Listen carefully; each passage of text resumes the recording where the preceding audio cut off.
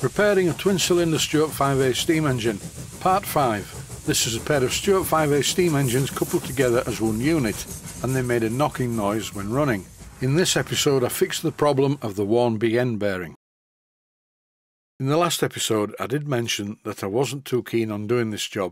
There isn't much room to work, and the two BA nuts are very tight on the bolts. I needed something to hold the bolts at the bottom, and I couldn't use a spanner because the angles were all wrong. Nor could I use a socket because even though it fitted the nuts, it was too big to fit up against the eccentric strap. Here's the answer. In my Myford lathe chuck I currently have a very cheap and nasty Taiwanese socket. I've had it for many years. Even though this socket is made from a very hard metal, it's still turnable using a carbide tip tool. And although you can't currently see it, it is underneath the bolts that hold the big end in place. This stops the bolts from rotating whilst I undo the nuts. And here we are, one nut and lock nut removed. Just one more to go. In this clip you can see how difficult it is to get the spanner onto the nut and rotate it, but after a while I managed to do it. When I run this sequence in real time you can see how I had to keep changing sides with the spanner. This was the easiest way to do it. Spannering is not something that I do a lot of. I'm sure any mechanics watching this are finding it amusing because when you use spanners very frequently you automatically know which way round to turn them to put them on the nuts or bolt heads. I rebuilt a 1971 Land Rover in 1999 and while I was doing that I soon found out the best way to position spanners, but that's a long time ago. This is not a Land Rover, even though it's green. The only thing it's got in common with the Land Rover is the fact that all the nuts and bolts are really far too tight. This clip shows how I held the Taiwanese socket that I reduced the diameter of to prevent the bolts from turning as I slackened the nuts. It was even difficult to remove these big end brasses once the parts were entirely loose, but in the end I did get them out. Now I can take a measurement of the crank pin to see how worn it is.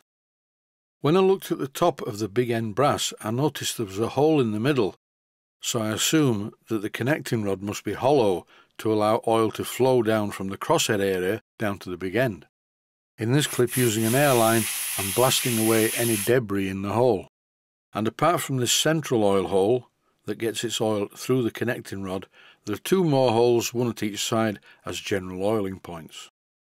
I thought that the easiest way to find the diameter of the crank pin was to use a digital caliper, and here I'm comparing the size of the hole in the big end brass.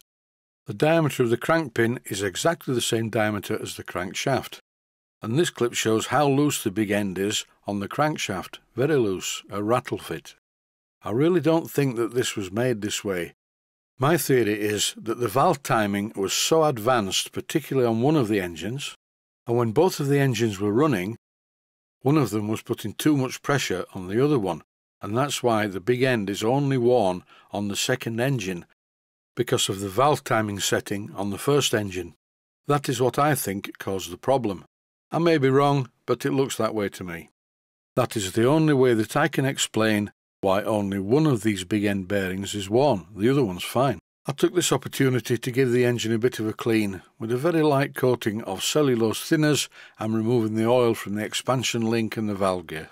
I used a toothbrush for this job and made sure I didn't get any cellulose thinners on the painted parts, otherwise the paint would disappear too.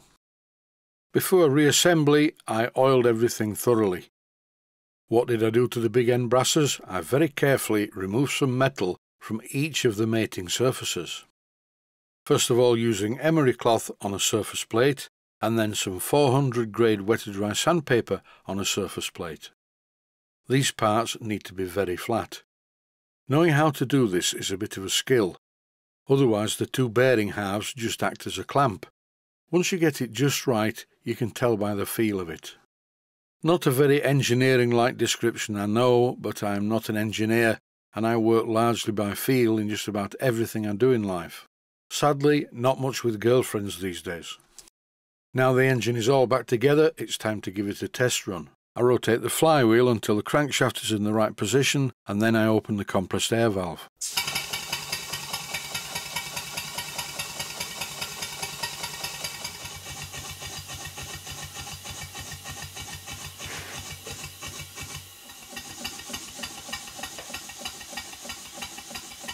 It makes a slightly different noise going in the other direction, but it's running and running well. Here's some slow motion.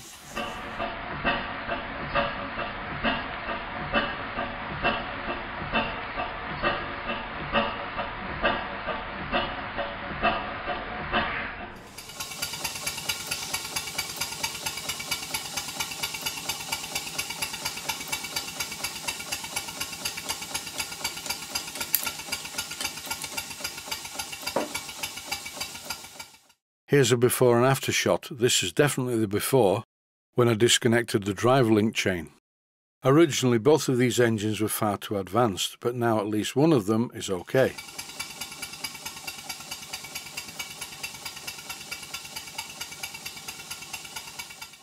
In this clip I'm refitting the steam chest cover nuts, which are still 2BA but one size smaller than normal. I just think they'll look better.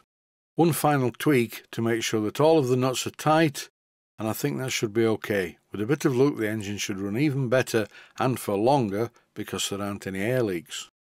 And that's about it for this episode. I'm just going to leave the engine running until the end of the episode.